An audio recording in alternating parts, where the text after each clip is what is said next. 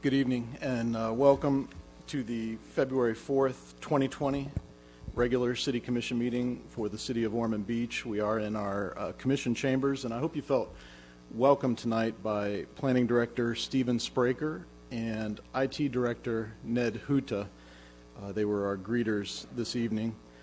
I'd like to introduce the folks who are sitting up in front of you to my right and your left. Uh, Recording Secretary Cassidy Ritz, City Clerk Colby Salento, City Commissioner from Zone 1 Dwight Selby, our Deputy Mayor and Zone 2 Commissioner Troy Kent, to my left and your right, uh, Commissioner from Zone 3 Susan Persis, Zone 4 Commissioner Rob Littleton, our City Manager Joyce Shanahan, our Assistant City Manager Claire Whitley, City Attorney Randy Hayes, and for those of you listening online, I'm Mayor Bill Partington. Uh, if you would, please silence your cell phones at this time and rise for the invocation given by Deacon Maylene Stowe from the Church of the Holy Child. That'll be followed by the Pledge of Allegiance. Let's pray. Almighty God, our Heavenly Father, we thank you for the privilege of serving you, both as citizens and leaders in this beautiful paradise we get to call home. Help us always to remember that we are but stewards of that which is yours. We pray that you will send down upon those who hold office in our city of Ormond Beach the spirit of wisdom, charity, and justice that with steadfast purpose they may faithfully serve in their offices to promote the well being of all your people. Through Jesus Christ our Lord. Amen. Amen. pledge allegiance to the flag of the United States of America and to the republic for which it stands, one nation, under God, indivisible, with liberty and justice for all.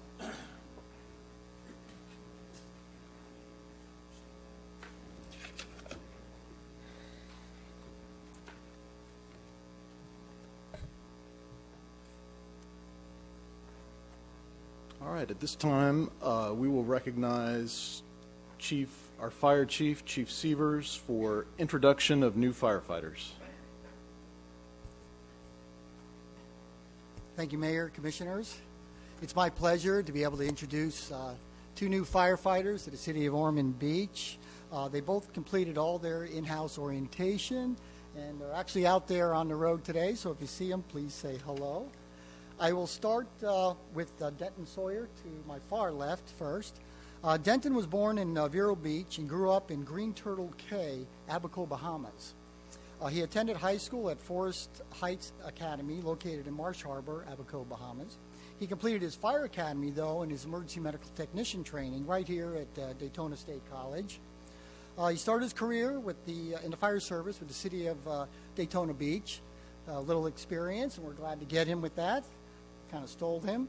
Uh, currently lives in Daytona Beach, but is looking to uh, purchase a home right here in Ormond Beach. His hobbies include uh, free diving at many of the springs in Florida, and he does play the guitar. Thought I'd throw that in just to embarrass him. He would like the commission to know that the city of Ormond Beach was always his number one place to work. He hopes to end his career as a firefighter with the Ormond Beach Fire Rescue Department, and we're very happy to have you uh, and welcome Denton. And uh, Christy Brown, I'd like to introduce her. She was born in Norfolk, Virginia, and grew up in Chesapeake, Virginia. She attended Hickory High School in Chesapeake, Virginia, and Christy also attended the Fire Academy and EMT school right here in Daytona State College. She currently lives in Port Orange, and her hobbies include uh, adventures with her two hound dogs, and working out and traveling. She was also a Division II collegiate soccer player. Congratulations on that. She would also like the commission to know that she is a, a certified as a state of Florida law enforcement officer. Uh, she worked previously for Daytona Beach Shores. Again, we got to steal a really qualified candidate. Uh, Christy earned her bachelor's degree in science and physical education, a master's of science degree in kinesiology, and is certified as an ACSM. Not sure what that means. Personal trainer. I don't know what association that is, but um, it's wonderful to have you here, and it's my pleasure to welcome them and to introduce you to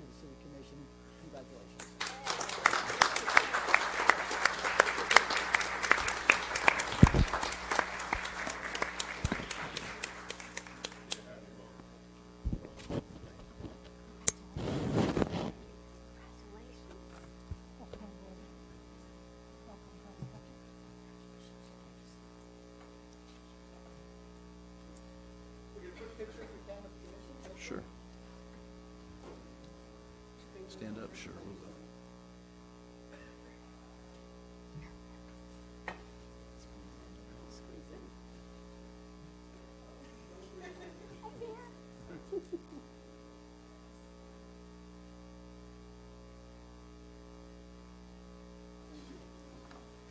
Thank you, Chief.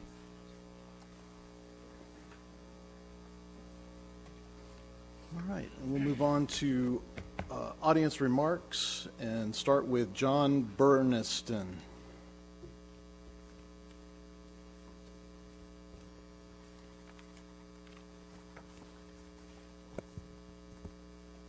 Um, Our, our presentation is going to be in three parts, so I'll go first, the other two will follow. We represent the Ormond Beach Tree Committee, a non-political grassroots group formed to preserve and protect trees and plants in our community. Members are, citi- are citizens distressed by the un- unnecessary clear-cutting for development that motivates the ongoing bulldozing and destruction of our urban forests, trees, wetlands around our beautiful city. We know from current research on resiliency that trees and wetlands are vitally important to offset flooding and ensure a healthy environment.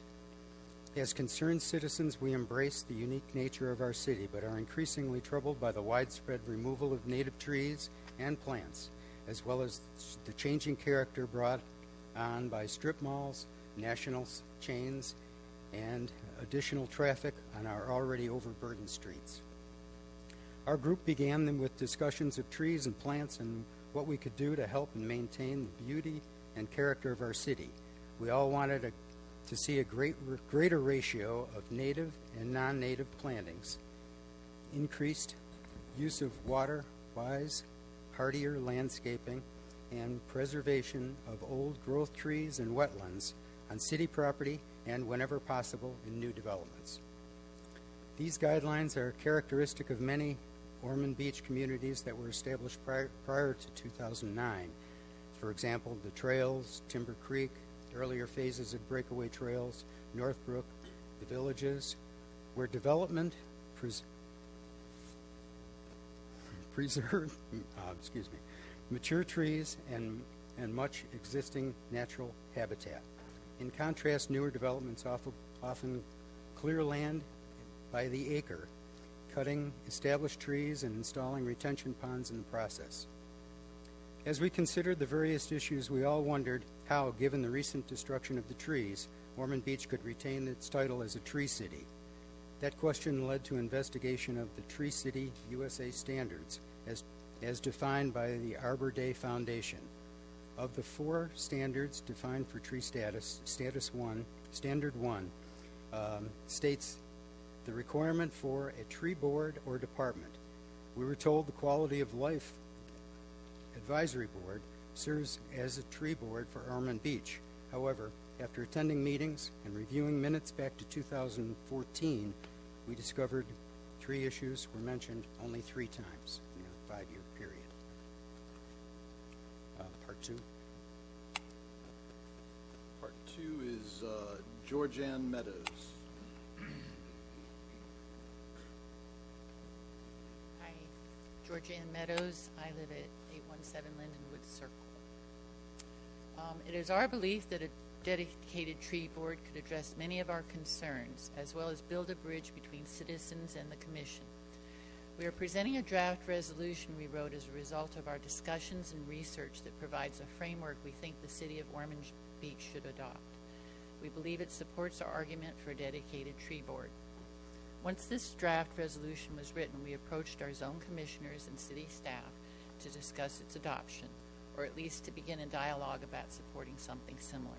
We outlined steps to achieve our goal of understanding the current status of city efforts to preserve and protect our trees. We met with Commissioners, City Manager Joyce Shanahan, Planning Division Director Steven Spraker, City Landscape Architect Kara Culliver, and other staff members. All were professional, gracious, and open to our questions. Upon recommendation by city staff, we attended meetings of the Site Plan Review Committee. Again, we were welcomed and invited to participate. We also researched native, plants and trees and attended workshops on resiliency and other environmental issues. After much reflection, we continue to believe our city does not meet the intent of Standard 1 of the Tree City USA Award as follows. Standard 1 states someone must legally be legally responsible for the care of all trees on city or town-owned property by delegating tree care decisions to professional forester, arborist, city department, citizen-led tree board, or some combination. City leaders determine who will perform necessary tree work. The public will also know who is accountable for decisions that impact community trees. Often both professional staff and an advisory tree board are established, which is a good goal for most communities. The formation of a tree board often stems from a group of citizens. In some cases, a mayor or city officials have started the process. Either way, the benefits are immense. Involving residents and business owners creates wide awareness of what trees do for the community and provides broad support for better tree care. Thank you. Thank you. And part three is Pam Novi.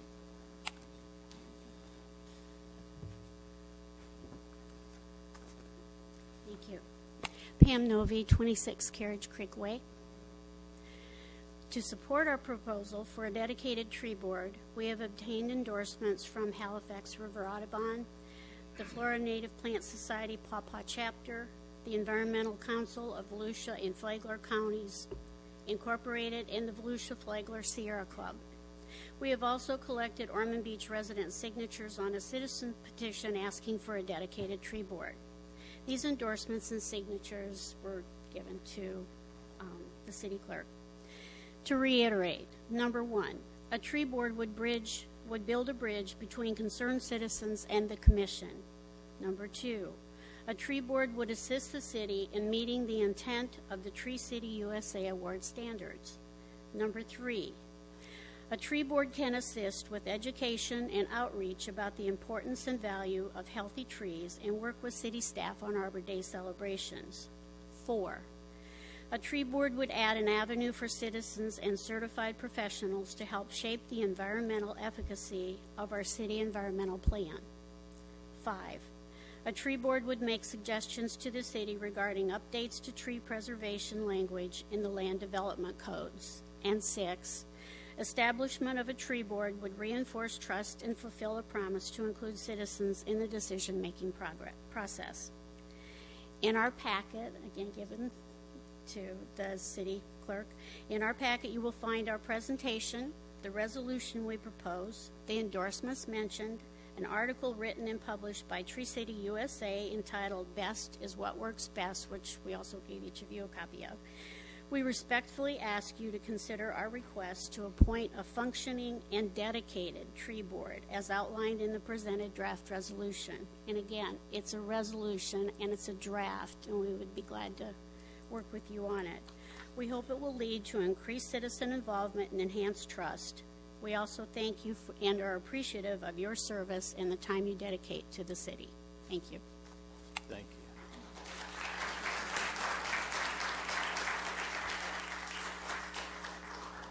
Sang Robertson.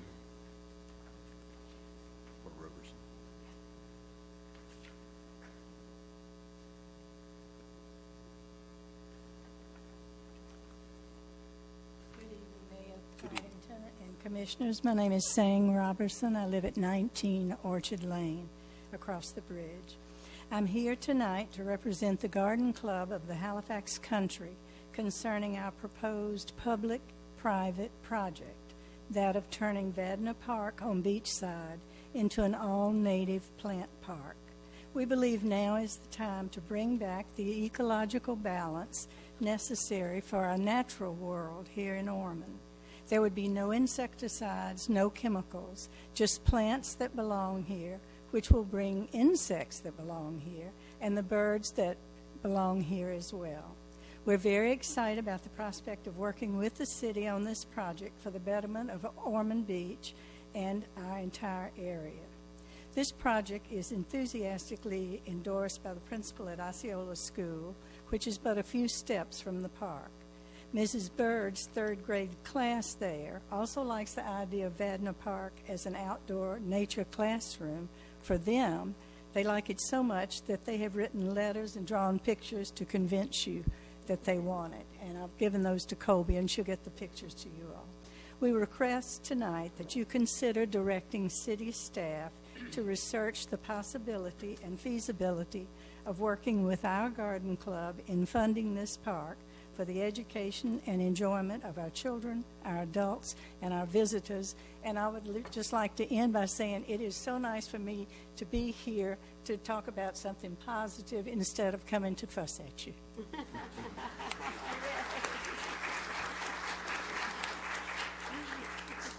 Rick Bohm.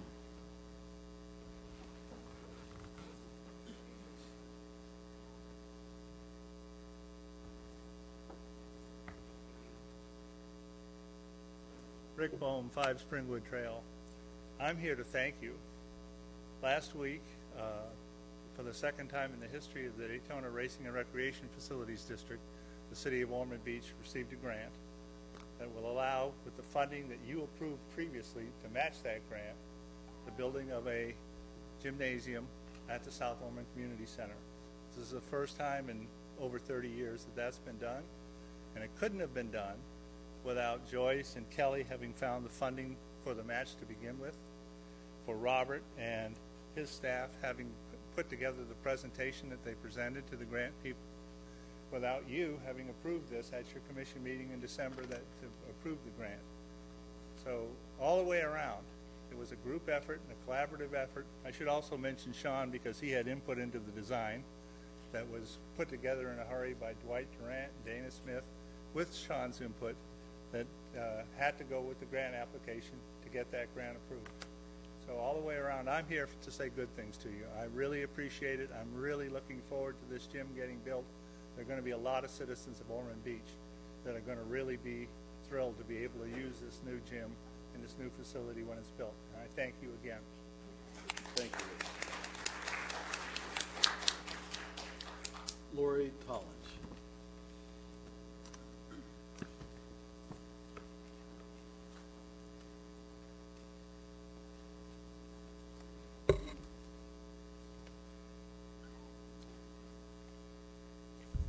Lori Tollin, 5 Broad River Road, Ormond Beach.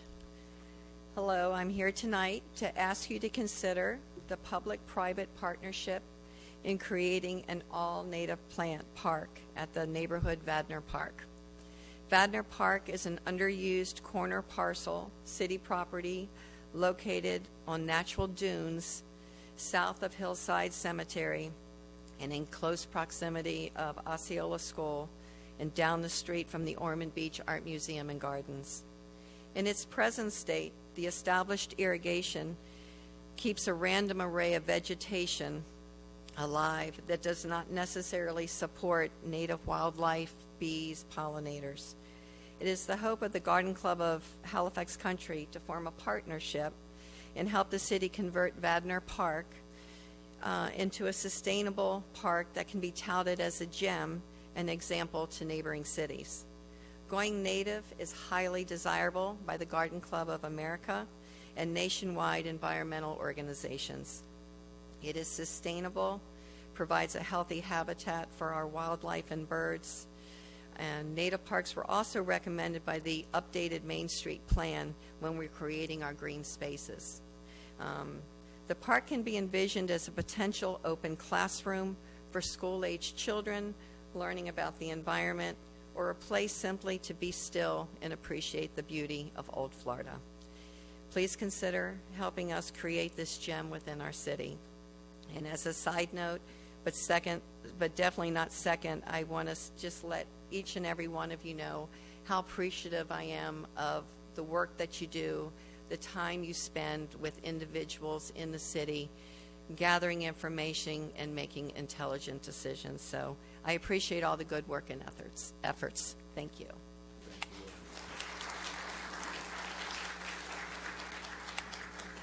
Bill Denny.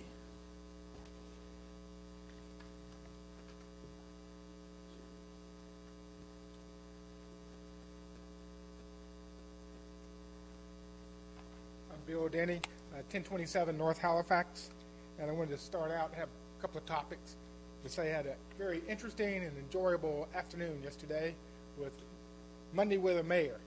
Um, so we had a lot of good discussions and actually met the a candidate for District 4 for Volusia County. So unexpected uh, information. So we enjoyed that. I know Commissioner Kent has coffee with a Kent, with Kent, and um, the city manager Shanahan has walking with the city manager usually once a month. I really enjoy. Got to see the water plant last month. Plus, uh, Chief Godfrey has coffee with a cup. That's all an opportunity for citizens to have face-to-face conversations, which I think increases our understanding and our trust. So, a two-way conversation, back and forth. So I would encourage the other commissioners to look for opportunities to establish a similar forum. My second topic is uh, civil discourse. Last month we uh, had our meeting on the last Monday of the month. The theme was What do the citizens of Ormond Beach want for our community in the coming year? So I want to take this opportunity to thank uh, Commissioner Persis from attending and again City Manager Shanahan from attending. Um, so it really uh, allowed our citizens to speak of what they thought and have somebody listen. And I really had that impression that both of y'all were listening and maybe even taking notes. So it, half of civil discourse is active listening, taking the opportunity to listen to the other side of what people have to say, and not just worry about your position and how you're going to talk to it. So we do think you added a great deal to the event. My last uh, topic, uh, switching hats, is Citizens for Ormond Beach. And it's, uh, we'll have kick off our 2020 speaker series uh, next Monday. Um, was that February the 12th at 5.30 at the library. we have two speakers. The first speaker is going to be Mr. Pringle, who is the chair for the Neighborhood Improvement uh, Advisory Board. And he's going to talk about HUD, um, community development block grants, and all the rules that go along with it, and the procedures and timelines to allow citizens to be able to offer their suggestions of what we should do and how we could use some of this grant money to improve their neighborhoods versus just people complaining about nothing ever happened. So it, I think that was important. The second part is we'll have Billie Wheeler, which is the District 2 um, Volusia County representative, but she's going to speak as the co-chair for the Complete Count Committee for the 2020 census. So she's going to... Thank you, Bill. Yep, Billie Wheeler is doing that for the county, and the census, getting an accurate count is a huge deal. Historically in Ormond, we have uh, gotten very accurate counts, so we're on, I know staff is on top of that. And, but still an interesting topic, and hopefully folks will come out and join you. Next is Dr. Rick Lentz. Good evening. I'm Rick Lentz, uh, 570 John Anderson Drive as the last 18 months. Uh, moving out of Daytona and loving Ormond.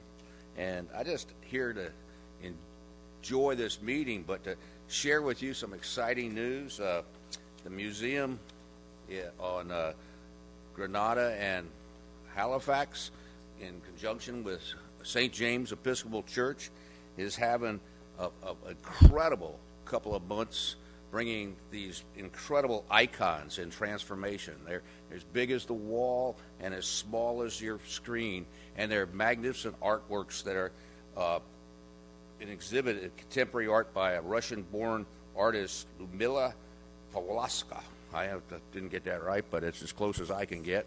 Uh, but it's uh, going to be here for a couple of months, and it's going to be just beautiful. I want everyone to know about it so you can come and enjoy it. It'll be open. There's going to be uh, musical presentations, groups playing, and you can have a tour of the artwork.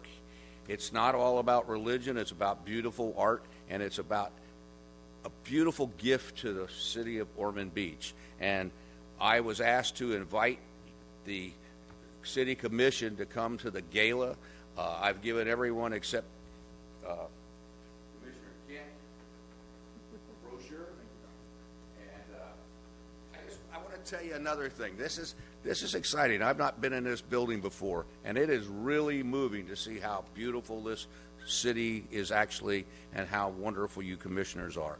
And I got one other favor because I've asked a couple of y'all about this. I live on John Anderson, and I tell you what, it's gorgeous, but it's dangerous road. And I saw a lady walking down the street pushing a, a, a stroller with a little baby in it in the grass. And obviously that wasn't working. So she got out in the street. There are sidewalks on the area, but we really, if you want to start thinking about the safety of the community, there needs to be a sidewalk down this street. And uh, how, how it cannot have been done already is beyond my comprehension. But it's not, I have a sidewalk in front of my house, but I'm not worried about me. I'm worried about the people. And the other thing, I would like to ask the police chief to put a, a cop with a radar on it at least once or twice a day because they're going along at 45, 50 miles an hour, and, it, and, and you can see where they've gone through the grass because they go off the road. So I, I'm throwing out too many things, but please come join us at the celebration because it is going to be a great gift to Ormond. Thank you very much for taking the time to listen to me. Thank you, Doctor. And last but not least is uh, normally our fluoride speaker, but tonight it's Jim Schultz on the coronavirus.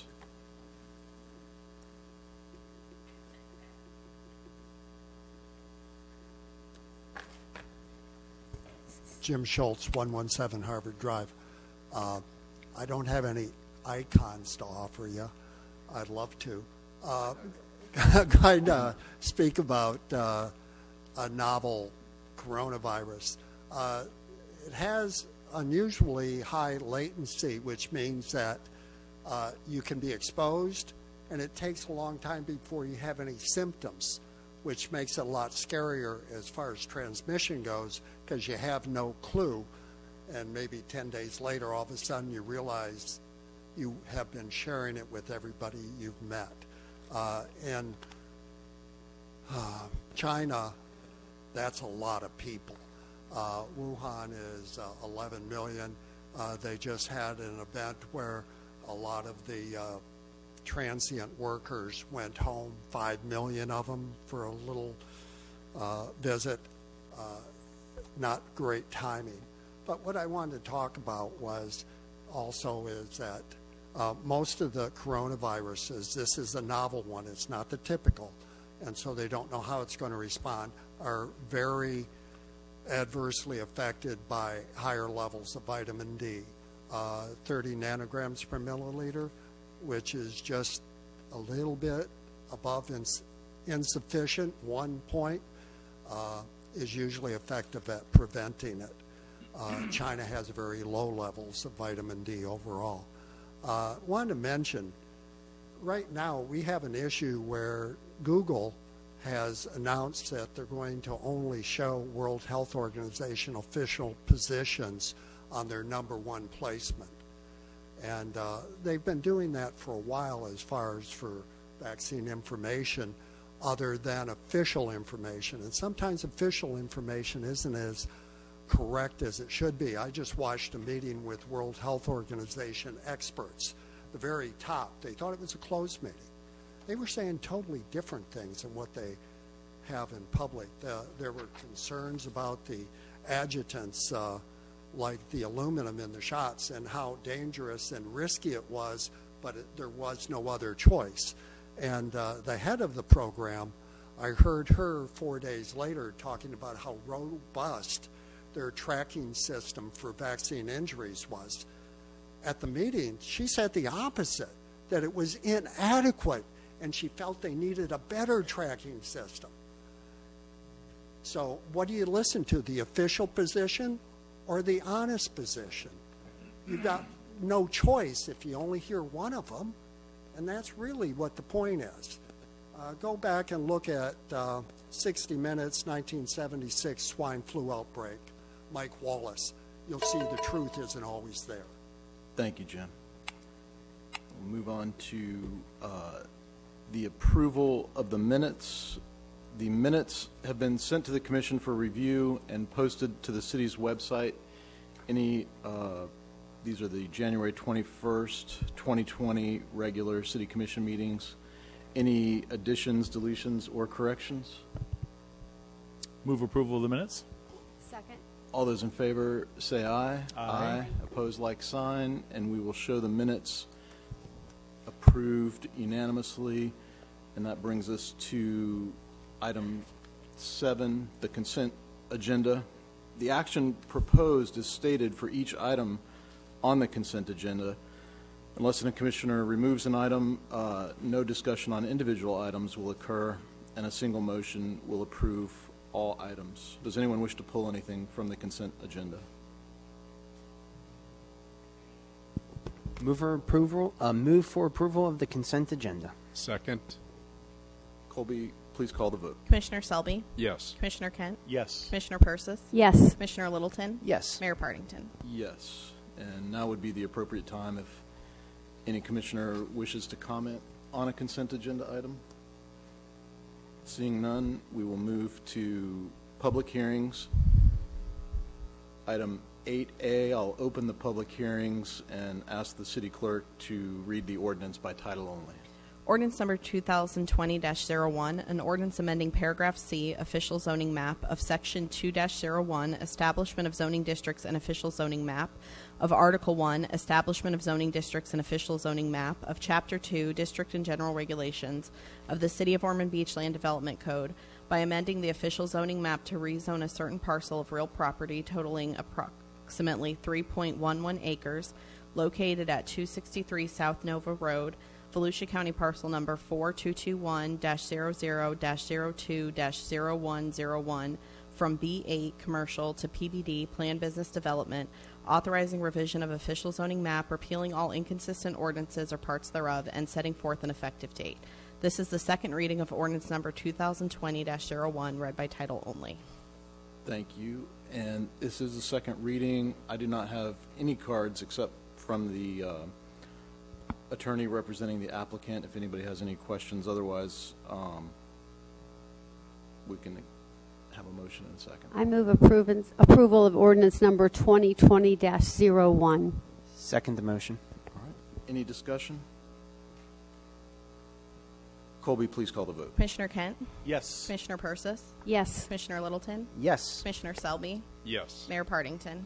Yes, and that brings us to 8B. Ordinance number 2020-02, an ordinance authorizing the execution and issuance of a development order for a planned business development to be known as Nova Road Climate Controlled Storage, authorizing the construction of a three-story climate-controlled storage facility consisting of approximately 94,921 square feet with 780 storage units, together with associated site improvements to be located at 263 South Nova Road, Volusia County parcel number 4221-00-02-0101, authorizing a building height of 32.33 feet for the primary roof-bearing wall and 42 feet for the parapet walls and cornice, authorizing the use of the Institute of Traffic Engineers ITE parking generation requirements, establishing conditions and expirations of approval, providing for recordation, and setting forth an effective date.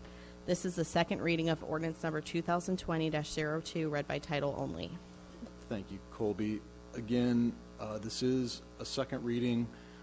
Other than the representative of the applicant uh, being available for any questions, I don't have any cards. A and B are somewhat related. A, of course, was the zoning, and B is the B is the PBD. Uh, if there's no questions, I don't have any other cards. Just need a motion in a second. Mayor, I'd like to move uh, ordinance uh, 2020-02. I'll second the motion. Great. Any discussion? Thank you. Moved by Commissioner Selby, seconded by Commissioner Littleton. Colby, please call the vote. Commissioner Persis?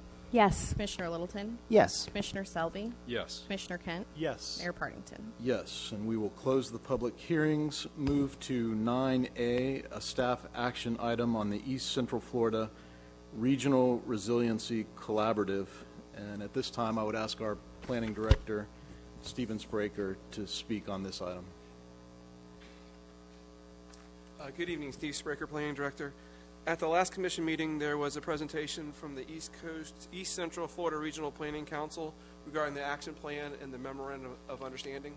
What we're trying to um, get from the commission, if this is a action plan and memorandum of understanding that you're interested in, um, the action plan really seeks to increase the ability of local and regional stakeholders to implement re- resiliency and climate adaptation strategies across disciplines. So it's really a, a multi discipline approach to resiliency, and the memor- memorandum of understanding lays out ba- basically what's expected of each jurisdiction. Uh, we believe it would be uh, wise to be part of an overall collaborative, um, kind of like the Transportation Planning Organization, where you're part of a larger group to try to um, address these. A lot of these issues are being addressed now through our floodplain ordinances, through our master stormwater plan, which is also incorporating sea level rise. Um, our regulations today have um, where you can and can build uh, regulations, but it would be nice to kind of put it all together through an action plan. I have a couple questions, but does anybody else have questions for Steven? Commissioner I- Littleton. I have one. Um, Steven, is this organization going to give out any funding or grants? Um, they, I believe they have in the past, and I believe the Department of Economic Opportunity also partners. So participating with a regional collaborative, in our opinion, would increase the odds of being able to get funding for a city action plan specific to Ormond Beach. That would be a cog in the overall regional um, resiliency plan. So I, I believe it would aid efforts to obtain grant funding. Good deal. Commissioner Persis. Yeah, can you explain the annual summit, what that would entail? It's basically a partition, participation of city staff in their in their uh, activities for the annual summit. Um, I would imagine they would review some of the recommendations that they have of their action plan, kind of to assess where they've um, where they've been and where they're seeking to go. So basically, staff participation would be part of that that annual summit. Thank you. Anybody else? Steven, um, this grew out of the East Central Florida Regi- Regional Planning Council, Correct. the ECFRPC, and so this is the E ECFRRC. And uh, for years, nobody has understood really what they do. I mean, people send representatives to them.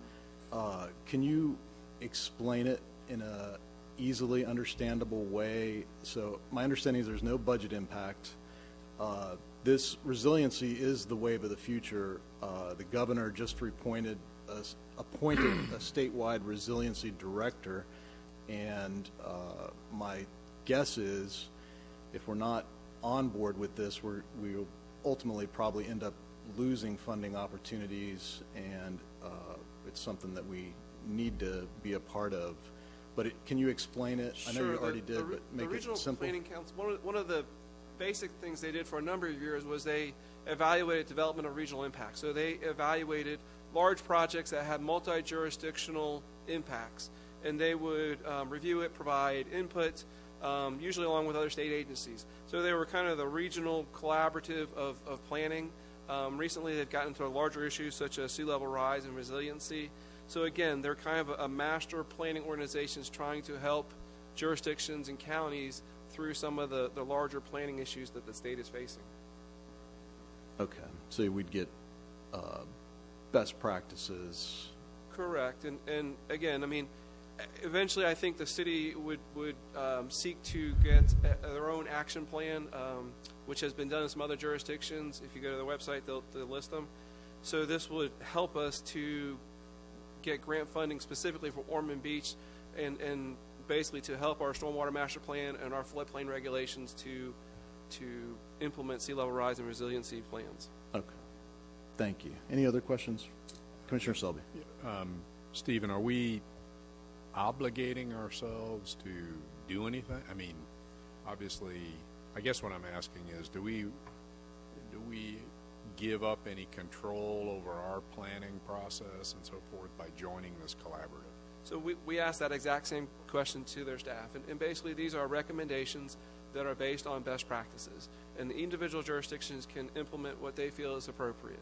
So I, I think the action of the commission would be saying that you want to be part of a regional collaborative to look at these issues. It doesn't box you into a corner saying that you know you have to do one thing or another, but you're willing to be part of the conversation and acknowledge, you know, that there are certain things. Again, we're already doing them through floodplains and and, and stormwater to come up with larger solutions. It would provide some additional expertise to city staff by tapping those those resources. Yeah, I, I, well, and what I like about the collaboration is that that you know we could do something that's in the best interest of our citizens, and if our neighboring city does the opposite, you know it could it could totally defeat the good that we've done. So collaborating really makes sense. I mean, it's Absolutely. really important. The One thing I wanted to comment on in the in the executive summary, it says there's no budget impact, and yet as I read through this thing, there's all kinds of staff time and involvement that would need to be involved in this. So there is, while there may not be a direct right, I mean, line item in the budget somewhere, there there are resources that are going to uh, to enact this, which, as you said, we're sort of doing already on our own, but nonetheless. So I'm glad to hear that there are grant opportunities to help offset some of those costs. Yes, sir. Commissioner Persis. Um, this is the East Central um, section that you're talking about, correct?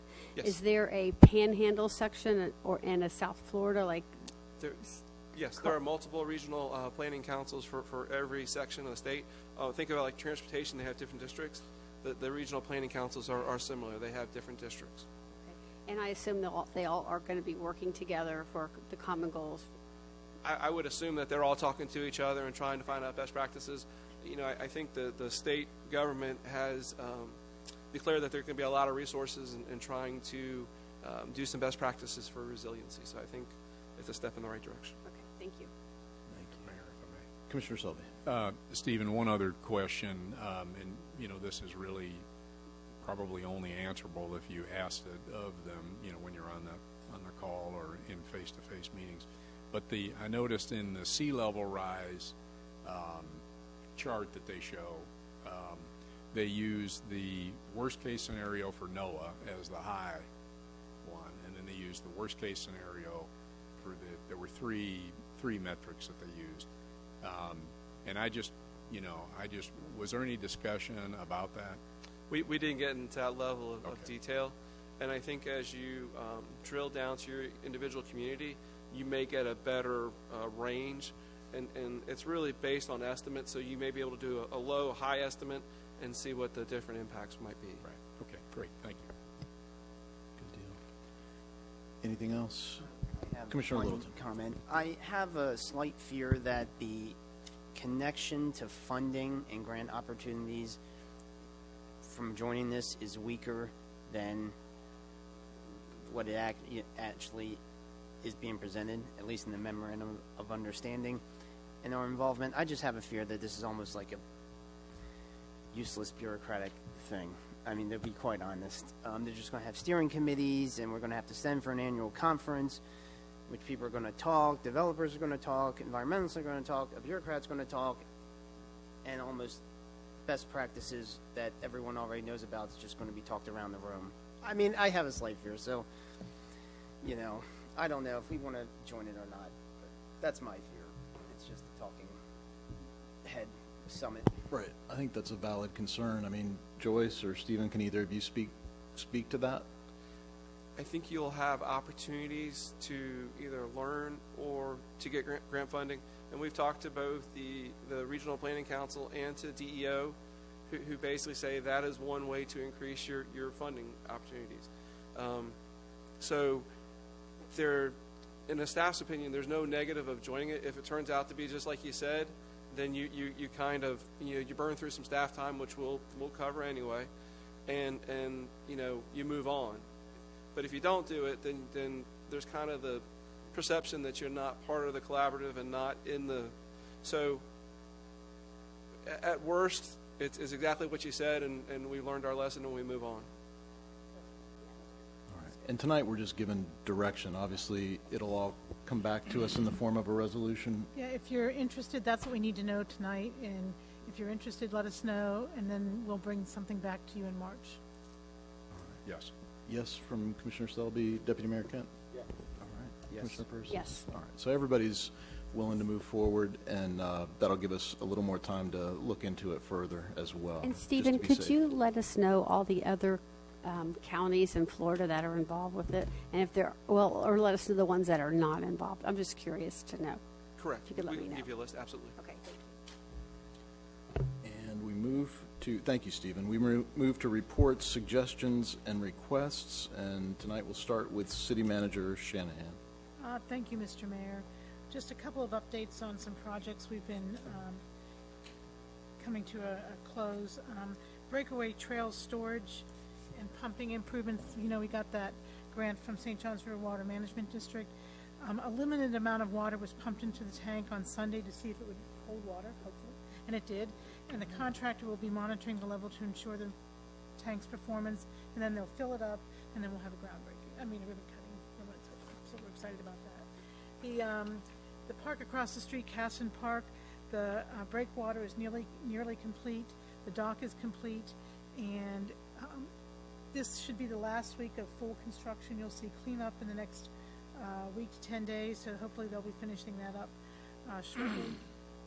Um, We, as part of the capital budget, one of the important items for staff was our fiber optic connectivity, especially with regard to um, our emergency management. Uh, Fire Station 92 does not have a direct line to City Hall, and uh, that is being bid out now, and we hope to award that soon. And our uh, timeline is uh, completion by May for the start of the June hurricane season. And that's all I have. If you have any questions, I'm happy to answer them. Thank you. Any questions for Joyce? Assistant City Manager Claire Whitley. Thank you, Joyce. Uh, No comments tonight. Thank you. Have a good night. Thank you, Claire. And City Attorney Randy Hayes. Thank you, Mayor. Uh, Nothing this evening, thank you. All right, and tonight we start with Deputy Mayor Kent. Perfect. Thank you very much. Uh, Just a couple of items this evening. First of all, to touch on Cassen Park, the dock and the breakwater, and our incredible partner, Ike Leary, with the bait shop across the street. Sir, thank you for your patience. Thank you for your partnership. Um, many in the community appreciate you know what we have over there and, and what you do as well. So I just want to publicly again say thank you tonight. Yeah, and and there's light at the end of the tunnel. It's going to be back better than it ever was before. So good stuff there. To Dr. Lentz, uh, before I talk about John Anderson, uh, thanks for saving my mom. I, no, I, I mean it with that issue she had. Th- thank you very much. Um, uh, you know, special, special, special place uh, in, in in the Kent family heart. And um, I, I know you know, but your, your son and I played t-ball and baseball together, and you helped coach out there at Nova Rec. So thank thank you for that as a kid growing up here. I appreciate it more than you know. But John Anderson sidewalks, where were you five years ago?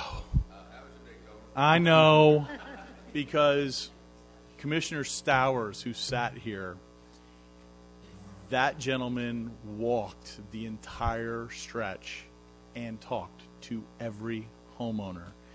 And we batted this around, Mayor. Was it a year or two years, something? It was. It was a. It was. It was a, a great word, exhaustive amount of time, and we had some options for our community. And it was um, the one from the consultant was let's straighten John Anderson. We're going to straighten John Anderson, and um, we're going to put sidewalks in, and we're going to put a bicycle lane in, and all of this stuff sounded great, except that we're going to tear down a lot of beautiful trees. And the community and the people that live there said, we actually want you to just fix the flooding, keep the road the exact same way it is. And that's what we did. We kept the original blueprint of that road and added three additional stop signs. And we're never going to make everybody happy. Because another doctor friend of mine who lives on John Anderson said, I'm so tired of these stop signs. You're driving me crazy when I have to stop, you know, and he's lived here his whole life as well. I just wanted to share that with you, Doctor.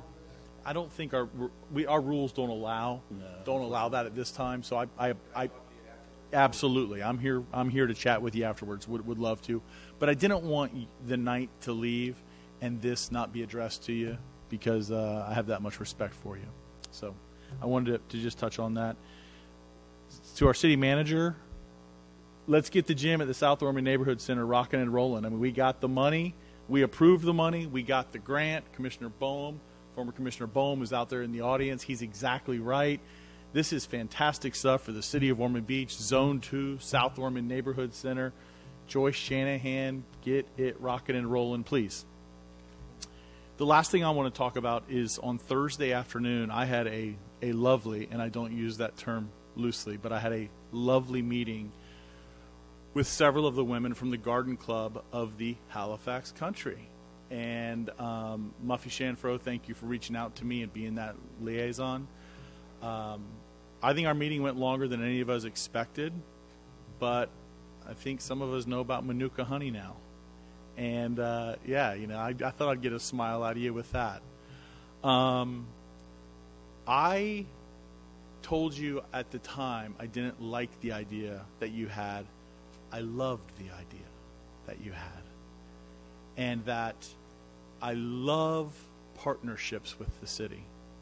And to get that partnership as equal as we can, that I would come up here tonight, that I would mention this tonight, that I would talk to these fine men and women up here with me, and I would tell them that from my meeting with you, I, I am on board.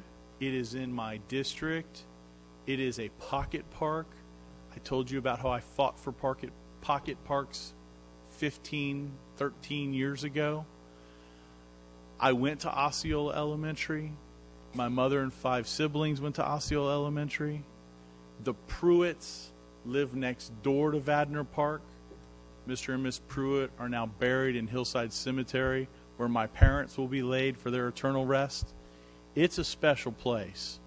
And I love what you're going what your ideas are with that location. I'm going to tell you something else I love. I love the idea of putting native vegetative plants there that will produce the type of pollinators we want, the type of birds we want. You have the right flora, you have the right fauna, and you have a really fantastic place to even just meditate, to have an outdoor classroom.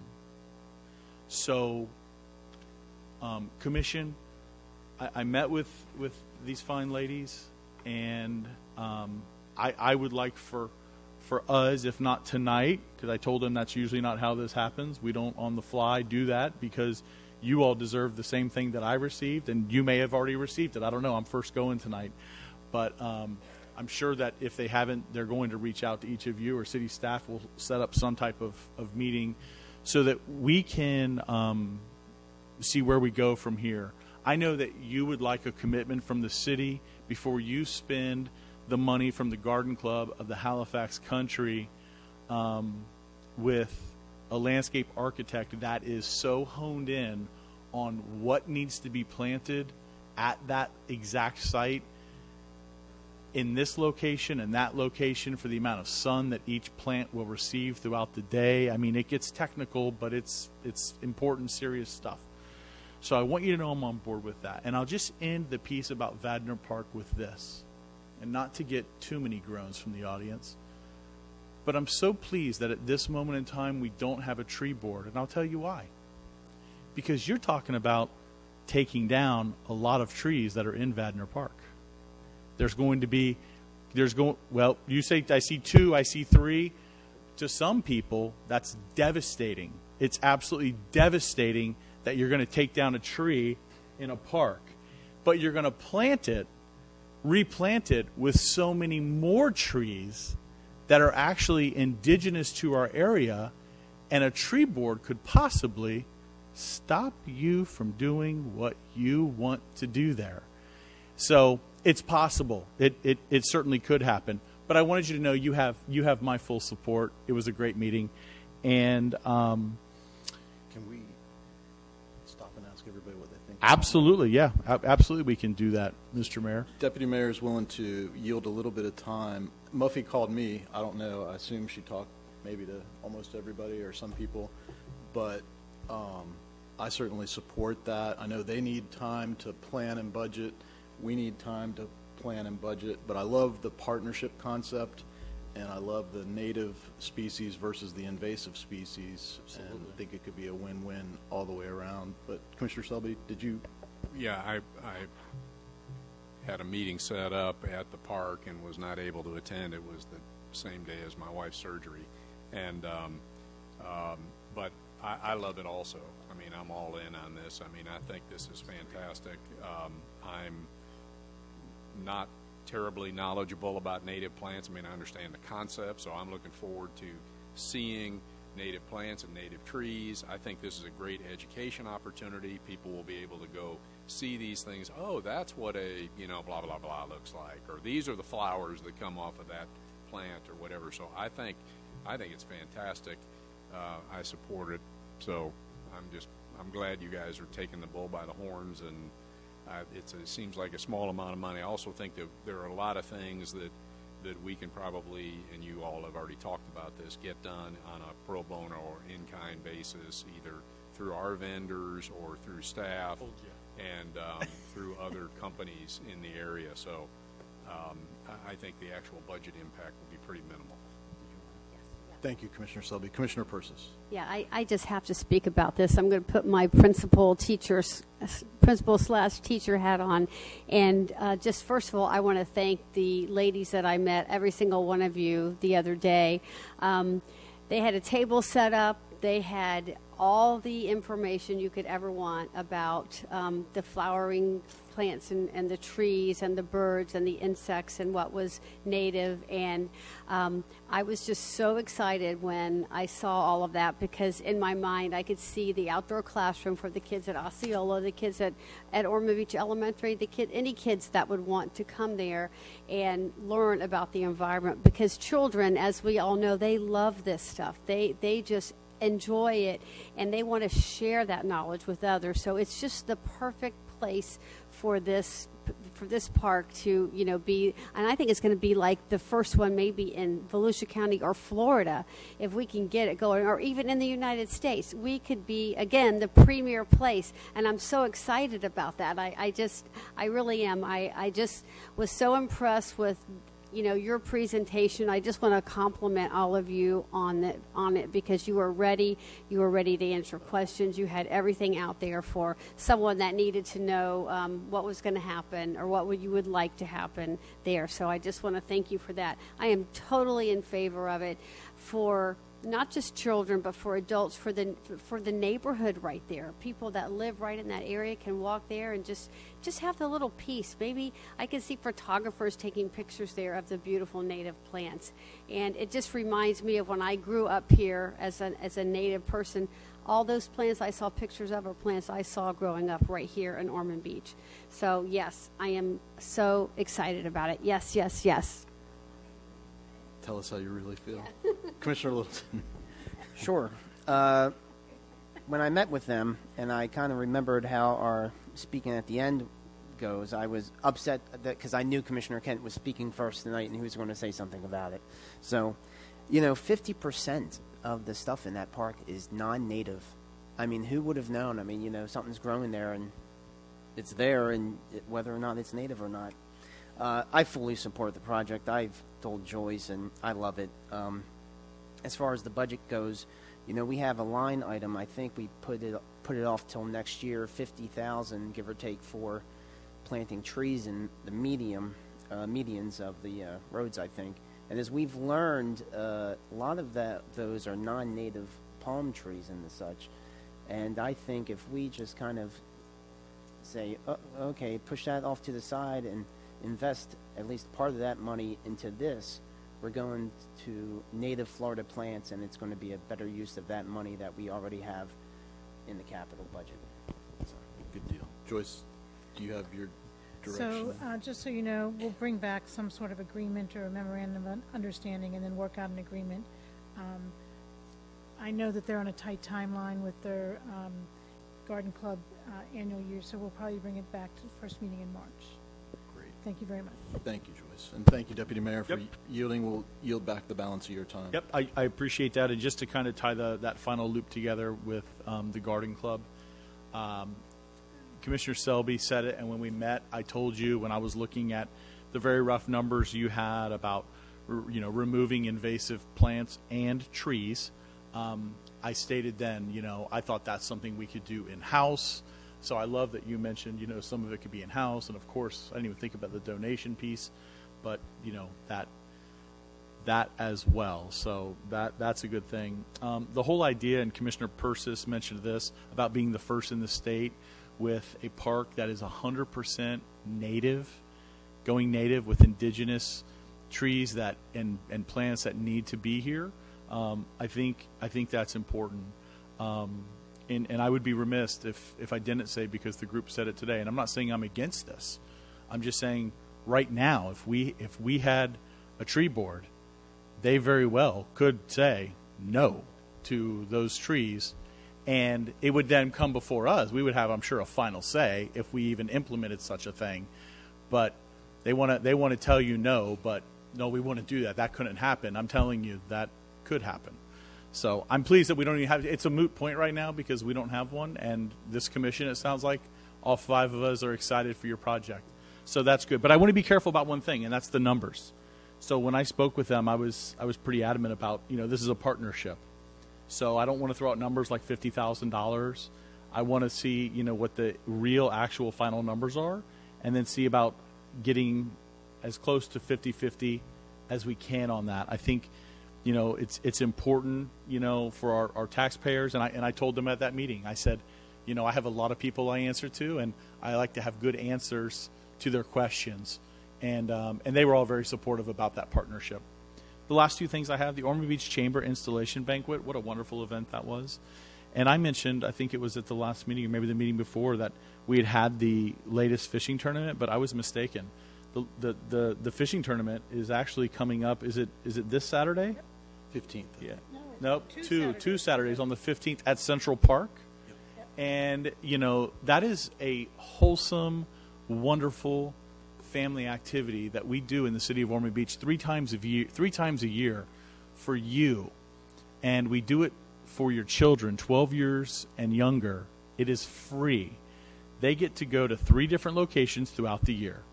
Right across the street here, they fish the intercoastal.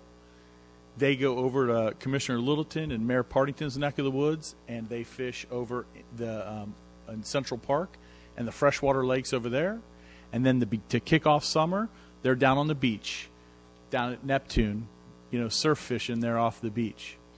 And to see a kid catch a fish, sometimes for the very first time, and then win a trophy, and and then at some of these tournaments, like every participant gets a free fishing pole with lures. I mean, you talk about a wholesome, family, fun-filled day together not on social media, not on devices, but together, learning how to fish, um, hanging out with mom or dad or grandma or grandpa or aunt or uncle. And it's a catch and release, you know, throwing those fish back into the waterway. Um, it, it really is a, a spectacular event. And then on top of it, I'm going to mention him twice tonight. You've got Ike Leary, who shows up at these events and cooks hot dogs for everybody there you know, just out of his good heart, you know, to do that. And, and thank you for that. With that, Mayor, I'm done for the evening. Thank you. Thank you, Deputy Mayor. And we move to Zone 3, Commissioner Susan Persis. Thank you, Mayor Partington, and good evening again. I just want to, uh, first of all, we have so many more people in the audience than usual, and I just want to thank all of you all for coming. And those of you that spoke, you did a fabulous job. I just think your comments were appropriate and po- polite and positive, and it just it's it means a lot to hear people come up and, and talk about what they believe in. And I, and I just want you to know that I appreciate that very much. Um, I want to thank Linda Williamson and Bill Denny, um, where are you guys? There you are, for you know just for all you're doing with your civil discourse. It's it's a lot of work for you all, I know, and um, I, I regret I haven't been able to attend every single one. But when I can, I go, and I really enjoy it. So I just want to say thank you for doing that for our city.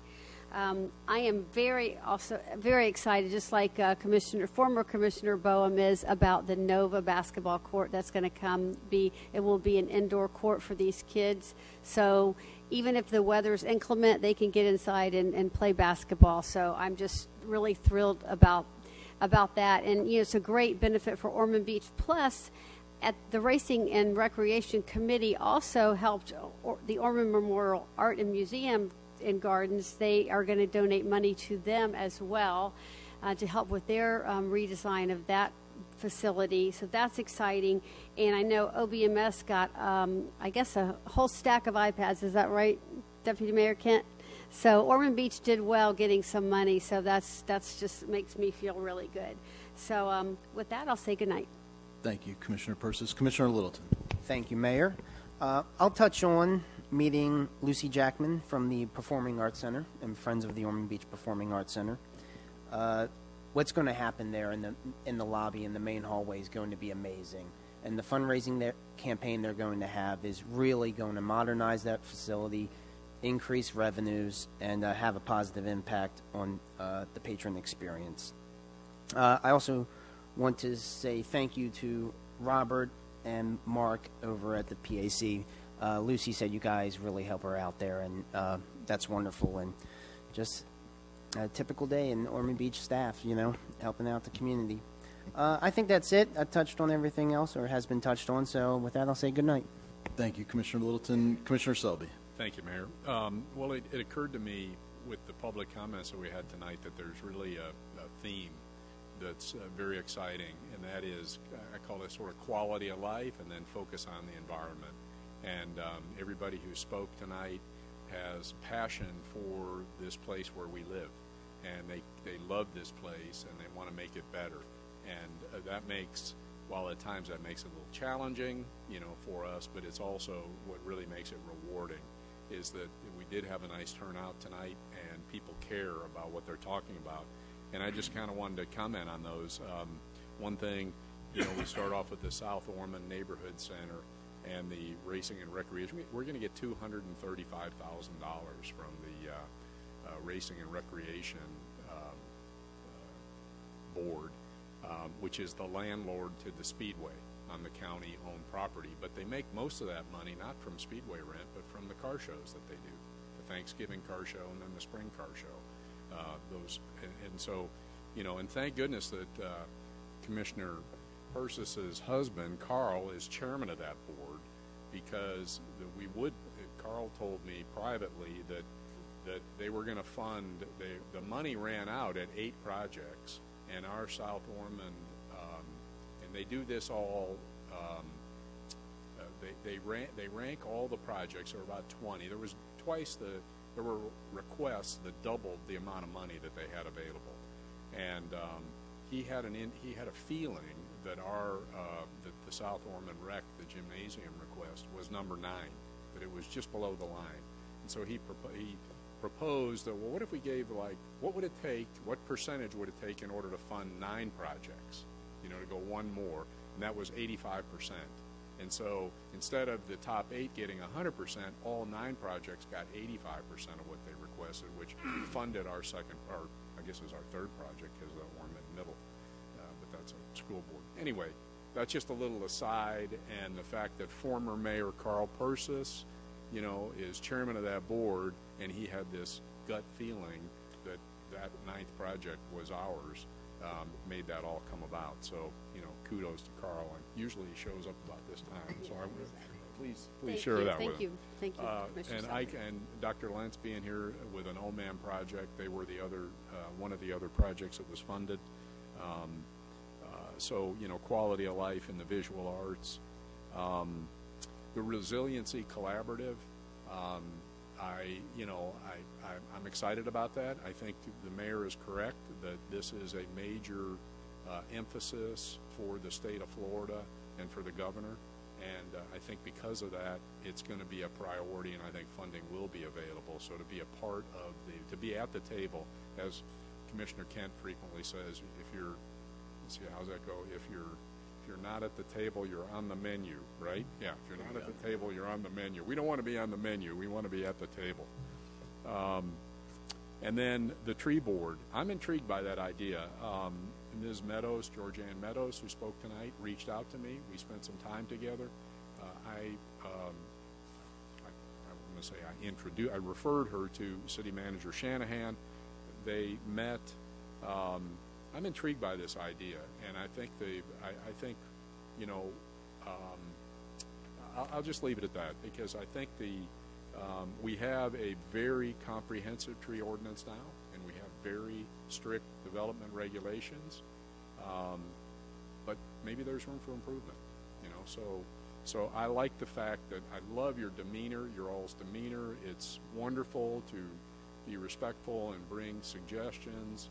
Um, we don't know everything, you know. There's no way we can know everything. So we're not experts in all areas. So uh, this, you know, I, I'm I'm open to hearing more talk about that. And finally, the Vadner Park, um, uh, the whole program. I've already said most of the things I wanted to say, but I'm just really excited about you know you ladies bringing that forward. It's a great idea, um, and you know maybe it can influence some things we do parts of the city also. But let's get this first one going and and uh, use it as an education tool, not just for I mean in addition to students, but also for um, for adults, residents. So, and with that, I'll say good night. Thank you, Commissioner Selby. And I had on my list as well a shout out to uh, Chairman Persis on the Recreation uh, Racing Board because he basically saved saved the project for us. And uh, listening to staff's rendition of how the meeting went, uh, it was a little dicey there for a while, but right at the end, uh, they pulled it out. And want to thank not only Chairman Persis, but uh, George Burden, who seconded the motion uh, as well, and then it passed unanimously. So that was fantastic, and uh, great work by staff getting that together so quickly. But uh, I kind of wish, I've been to those meetings before, I kind of wish I had been there just to watch, it sounded like a little bit of theatrics, but watch how that went. And the the point is the racing rec members don't know what the projects are um, that have survived the vote. So nobody really knew, but uh, it ended up working out well for us. So I think that's a great thing. Uh, the next item I had was uh, one that we all need to weigh in on. Uh, Commissioner Boehm, Ambassador Boehm now, uh, had talked to me about the naming of the field number five for Dwight Durant, who has done a huge amount of work for our recreational programs and just needed to find out if there's support to direct the city manager to move forward with that. Um, I can go through the list or ask Commissioner Boehm to come up and go through the list of reasons why. Um, but essentially Dwight has really given quite a bit of his time freely on many different projects, including and up to the uh, South Ormond Neighborhood Center gym, to get the city where it is today from a recreational standpoint. So, Commissioner Littleton, are you? Yes. I just have a question. Did it go before the Leisure Services Board? I saw an email a week ago or something like that. My understanding is it has been. Okay. They approved it, I assume? They did Okay. approve it. I Oh, think. oh, yes. the- Yeah, the issue is, uh, time-wise, between now and opening day, staff needs to know that they have direction from the commission to move forward with that in order to make it, uh, make it happen at the appropriate, appropriate time, so. uh, Dwight Durant has done a yeoman's job over the years uh, for sports and recreation, so yeah, I'm totally in on that. And Commissioner Persis is on board. Deputy Mayor Kent? So thank you. That's five to oh, Joyce, if you can bring that back to us or handle it appropriately. Um, and thank you, Commission, for that. Uh, I wanted to mention the ethics training that the Volusia League of Cities is providing is going to happen on February 24th, 2020. They have, uh, I think, 14 spots open for that. They can fit 80. They've had 66 sign up, and so the time is drawing near. Um, I want to say it's from like 8 to 1, something like that. Um, I want to say, did you already sign up for that? Commissioner Persis signed up. Uh, you don't, okay. And there's other opportunities throughout the year, obviously.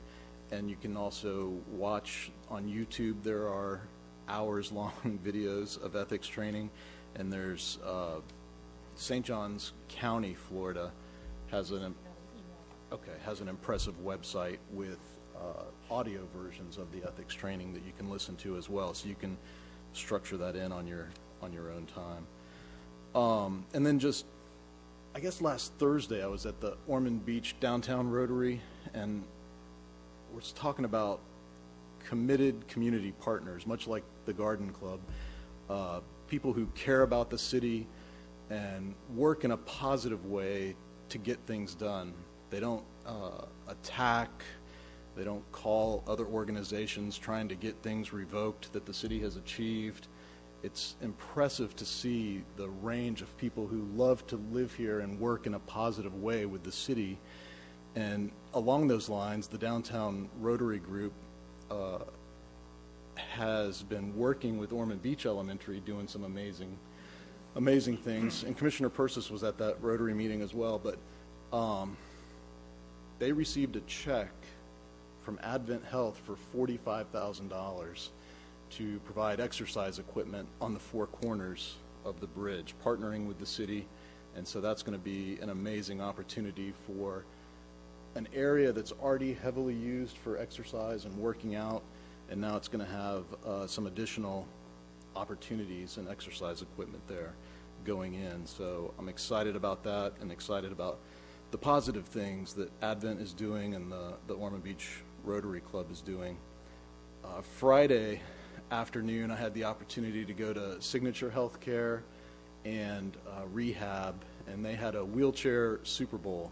It was their second or third one, and those residents were so excited, having a great time. Uh, obviously, limited mobility, but it did not affect their spirit one bit, and so that was amazing to see in our city uh, that going on. And they do a great job there of of all the events that happen throughout the year, making sure that their residents get to participate in those. So it was an honor, honor to attend that. Later that night was the chamber installation. I think it was Deputy Mayor Kent mentioned what a great event that was, and talk about committed uh, community partners. There were so many there that evening, and they do so much. I mean, the Teacher of the Quarter alone is a, a yeoman's effort to honor the teachers who work in this community, and that's just one of the many things that the, the chamber does. Then Saturday, uh, we had the Granada Grand Arts Festival behind City Hall. Um, and then Ormond Garage had the unveiling of Ormond Beach's first mural that was done by uh, Thais Franca, who was the artist. And this is one of the prints that's available uh, from that. You can get it at Thais's Art Gallery at 154 West Granada Boulevard. It's really a beautiful first mural for our city, and we're so excited about our mural program. This particular mural represents a big part of our early history in Ormond Beach with, with racing on the beach, and it was, uh, gosh, so well attended. The weather was uh, rainy, drizzly, overcast, cold, but still there were hundreds of people that came out for it. And uh, great excitement great spirit and people so happy to see uh, such a, a dedication to history. Bill jones was there who spoke about his love for ormond beach's history his desire to uh, continue to improve our historical footprint. And so it was just a, a great day for the city. As far as granada grand uh, the arts district it's a real thing. and it's happened in Ormond Beach because of, again, committed community partners, people who care about art, working in a positive way to make something happen in Ormond Beach that has become a, uh, a very positive draw for our downtown. There's a lot more art and opportunity than there ever was before, and that grew out of Main Street, Ormond Main Street. So another great thing that Julia Truillo has done.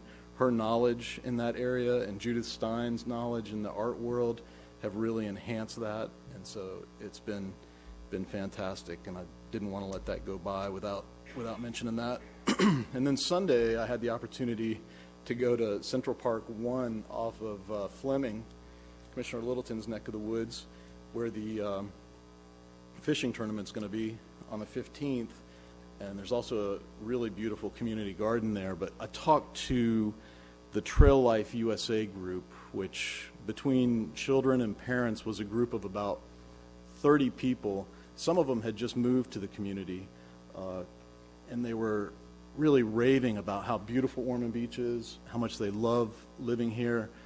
Uh, a couple had come with their five children from Cape Coral, which is in southwest Florida, and that that's a beautiful area too. But they were just really impressed with how clean the city was, how uh, focused they were on programming for children, leisure services, and recreation.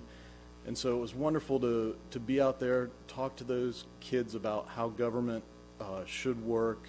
And the whole time we were there, you could hardly find a parking space anywhere in that park.